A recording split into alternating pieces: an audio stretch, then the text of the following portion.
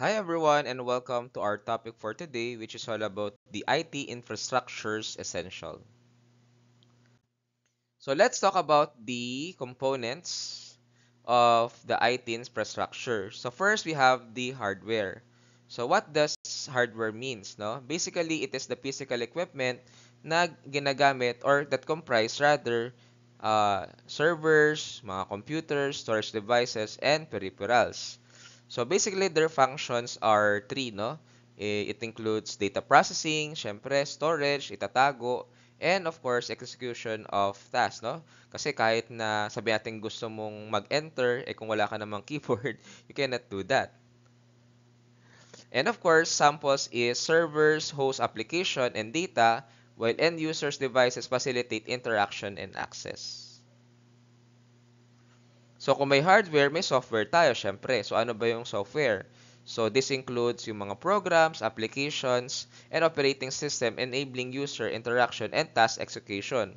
So, for instance, you're going to buy a laptop, no? Normally, no, uh, majority ng mga laptops, they don't have uh, yet no mga operating system. So that's why i-installan mo pa siya. Even though there are some installed applications, pero you know, uh, normally pag operating system wala pa masya, wala pa no based on my experience. But of course, there are some uh, laptop na meron ng operating system na naka-install. But it costs a higher price compared to those na wala. In terms of functionality, syempre it provides uh, functionalities from basic operation to complex algorithms and application, no? So, because of the software, no, nakakagawa siya ng mga, yun nga, operations. Like, for example, let's say, uh, Adobe Photoshop, no, it could able to edit photos, yung mga video um, application like the Filmora, 'di ba? So al- algorithms, no, you could able to uh, use data no for for anal uh, for anal analytics no and so on and so forth. So examples of it is the operating system like the Windows, Macs, Mac uh, Mac operating system, the Linux no which is productivity software. Okay, we also have the uh, Microsoft Office and Adobe and specialized application like the ERP system or enterprise resource planning system. We have the customer relation management software. So now let's talk about the networks, no? So networks is basically the infrastructure connecting devices to enable communication, data exchange, and resource sharing. 'Di ba? So for example, in a computer shop, no? Um, 'di ba? Uh, doon kayang mag time in and time out tapos pag automatic time out ka no automatic nagko-close yung computer so i mean that is just one scenario or one example o kaya for example you are in an office no you want to message your your um what call this? Your colleagues no from other departments. Then you can use uh, email no or uh, intranet no which is uh, an email exclusively for the employees or for the office itself. Then also for example you want to print uh, from different printers no? So you could able to use uh, networks for you to print uh, papers from other departments. Kasi let's say kulang na yung ink or ink ng department nyo or wala na kayong papel. Example lang yon. So, in terms of functionality, it is facilitate seamless communication and data transfer between devices, ensuring connectivity. And examples of it are the LAN or local area network. So, we're going to talk about it later. Then, for office yon and home connectivity. While the one is the wide area network, which is uh, for larger geographic areas, no? And of course, we have the wireless local area network, which is offering wireless connectivity. So, there are importance of uh, cybersecurity. So, first is the protection against threats, no?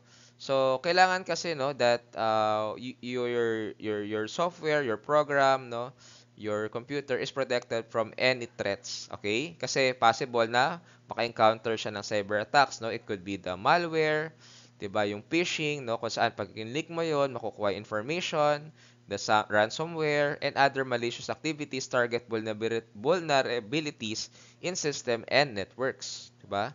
So, the next one is ano ba yung role ng cybersecurity? So, it is basically a defense mechanism, no? kung saan pwede nating mitigate, no, ma-minimize, ma-prevent at uh, you know, we could able to give solution to these threats, yung mga nabanggit kanina na malware, phishing, etc.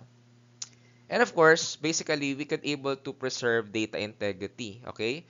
Kung saan when we say the word data integrity, uh, we could able to ensure na yung data are accurate, no?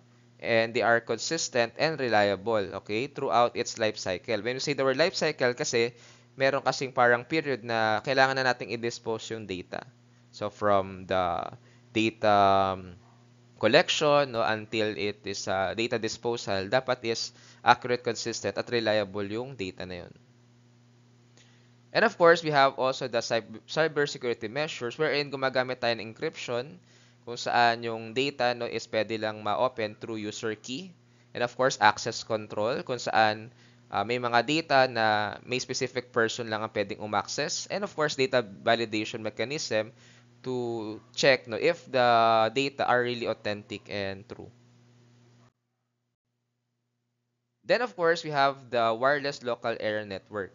So kanina sinabi natin na it utilizes wireless technology to connect devices within a limited area, eliminating the need for physical cables. Kasi nga naman kung gagamit ka ng cables, no, so it will uh, it entail additional cost and at the same time um, you know, it's go it's going to be hard to initially install. So, ang characteristic nito is it offers mobility, no? Flexibility and scalability without physical constraints kasi pag may cable pa, 'di ba, parang it will entail physical constraints, no? Um, of course, no, pwede siyang gamitin sa Wi-Fi networks in homes, office, public places, etc. Then, in terms of ensuring system availability, ayan, uh, minsan may mga times talaga na downtime, no? Wherein, uh, of course, cybersecurity breaches can lead to system failures, disrupting operation. Kung saan, pag na-hack yung system, possible magkaroon ng system downtime. So, ano ba yung role ng cybersecurity dito? Siyempre, they have to uh, implement na kailangan yung system available, no? at magamit ng operation. Kunyari, yung merchandising department, kung ma-hack yung system nito, then they cannot able to have data, ilan ba yung dapat orderin per store para do sa mga products na, that needs to be delivered to different stores. So of course, in terms of regulatory compliance and trust, no, dapat is mag-comply yung mga companies, no, and they need technology to comply that. For example, the Data Privacy Act, no, of 2012 na hindi pwedeng magamit yung information for other purposes based dun sa, of course, dun sa purpose nung bakit mo kinolekta yung data. Then, of course, we have building trust, no, kung saan dahil nga, you know, you're, you're getting the data of your stakeholders, dapat is maingatan mo yun and you should be committed to implement secure practices and data protection para hindi yung data is mag-link at magamit ng mga hackers. So in terms of risk mitigation and incident response. So first is risk assessment. Kailangan is ma-identify natin ano ba yung mga potential risk and vulnerabilities uh, uh, within the infrastructure. So dapat malaman natin ano ba yung possible na how the data can be leaked or possible ba na magkaroon ng malware, no? Or magkaroon ng phishing, no? Dun sa uh, office nyo or dun sa business. And then, if ever mangyari yon, dapat mayroon kayong mga strategies para ma-effectively uh, respond to the security incidents pag nangyari yon.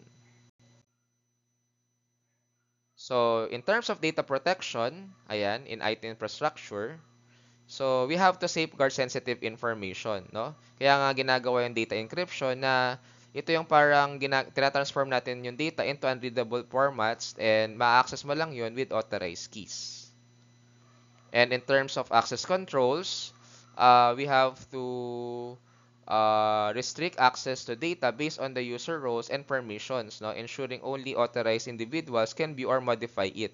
So for example, no, let's say ikaw yung uh, finance manager, so meron kang access to monitor yung mga financial statements. Na for example, but if you're the HR, you don't need to have an access to get the data from, you know, from those financial statements dahil hindi naman related sa trabaho mo yun.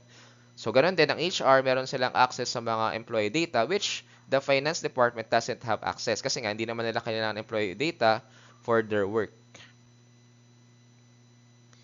Then of course, you have to secure storage practices, no? Wherein uh, you have to implement secure storage methods to prevent unauthorized access or data breaches.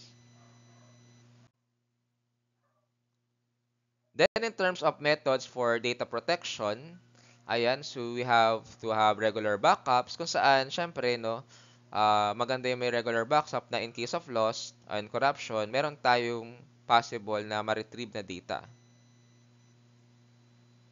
And then, of course, in terms of data masking and anonymization, so ito yung pag-hide ng specific data elements to protect sensitive information while maintaining usability. Let's say customer service personnel uh, tumawag ka doon tapos um, kailangan kang i-support or uh, you know, uh, i-assist ng customer service personnel. So, doon sa data masking, pag sinearch ko yung data mo, hindi lahat ng mga information mo ay possible makita ng customer service representative. Yung mag- magagamit lang niya to assist you.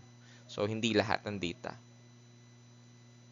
And of course, we have the data lifecycle management wherein Of course, na from the creation of data to deletion, deletion nang sa ganun ay uh, properly secured yung data at pag na-dispose na yon ay hindi makukuha yun ng iba.